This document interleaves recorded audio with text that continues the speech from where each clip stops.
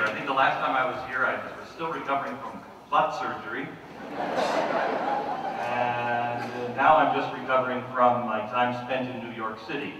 So it's kind of a healing therapeutic thing I do every once in a while. Come, come to Idaho. I, I sure appreciate you, uh, you being here today and supporting your local sheriffs. I'll tell you why I feel that's so important uh, later, and, and of course all the police officers and everything else. And you know, I, I, want to spend some time talking to you about just the thing, the way things are, and what's going on in our world, and how things just don't make sense. But I also want to spend some time later on in the afternoon talking to you about how important I think you are, how important I think the Mountain West is, how important I think the role that you will play in the coming months and years in our country. But I just first, I think, I think I just want to start with how crazy things are. I mean, I don't know if it's as crazy here. I mean, I come here, you might think it's crazy here, I don't know. I mean, I did hear about your latest state session, which, I mean, how many times do they have to run it through before they understand what no means on, a, on an income tax or a, or a gasoline tax? But we're living in a world that is completely upside down now.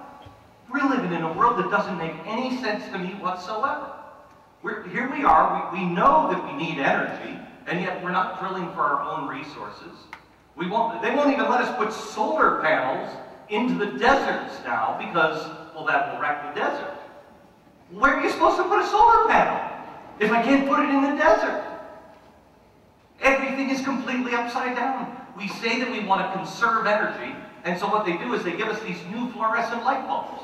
Do you know where the old light bulbs were made? Kentucky. The new ones? China. Did we master the transporter for the light bulbs? How are they getting from China? They're getting on a very slow boat from China here. Aren't we using the energy to get them from China? The fluorescent light bulb. We have Fannie Mae and Freddie Mac. Makes no sense to me whatsoever. We now have the government owning our banks. They'll tell you that they didn't want to take them over. I don't believe that for a second. Now they're controlling our banks. And Barney Frank is on the scene.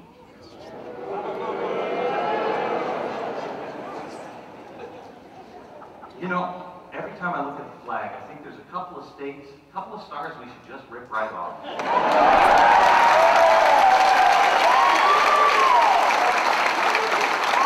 I mean, I wish they were marked. You know, I wish one said CA so we know which one. Okay, oh yeah, you, you need to come off. You have, you have the people that are electing Barney Frank somehow or another don't hear him say, and uh, what I really want to do now is loosen the standards. Now that we have the banking control, we want to loosen the standards a bit for loaning money. Isn't that what got us where we are now? Loosening the restrictions? We're also selling our debt to ourselves now. I don't know how that works. I wish I did. Wouldn't that be sweet? Gee, I don't have any money. Could I borrow some money, Glenn? Sure. Thanks. That doesn't work. We're loaning money to ourselves now. We have printed, just in the first three months of this year, we printed three times the amount of total cash that was in the system back in November. We just printed it. And nobody is really even paying attention to that. It has never worked in the past. It, you get to a system where you, you're just saying, well, maybe something will happen. Maybe the blue fairy will come and open up the cage and we can all get out like Pinocchio. It doesn't work that way. We have, we have now promised, our Fed and our Treasury has promised $13 trillion to people who are too big to fail. $13 trillion. To put that into perspective, remember when everybody was screaming that we, we had too big of a debt during the last election? That debt, the ceiling had just been moved to $11 trillion. Since November, we have promised another $13 trillion on top of that and moved the debt ceiling from 11 to 12. Then on top of that, we had Medicare, Medicaid, Social Security. That debt now, unfunded liability, is $99 trillion. How do we pay for that?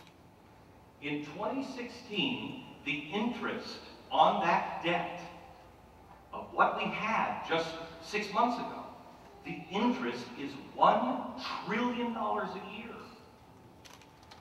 To put this into perspective, just the $99 trillion, you could take all of the money and tax at 100% every person from Bill Gates all the way down, and you still couldn't pay this debt off in 10 years. Now that leads us to slavery. We may our children are going to look at us and say, oh, well, you guys were living the high life. I don't think this is the high life. We weren't living the high life. We were just quiet. We just didn't say anything. We just aren't thinking. Because somehow or another, these weasels, we still trust them. Or at least we trust them enough not to grab a pitchfork and a torch and grab their ass and throw them out of office.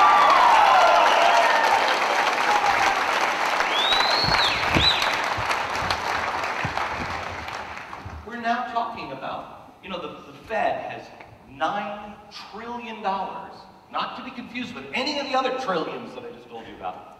They have also, the Fed has also guaranteed $9 trillion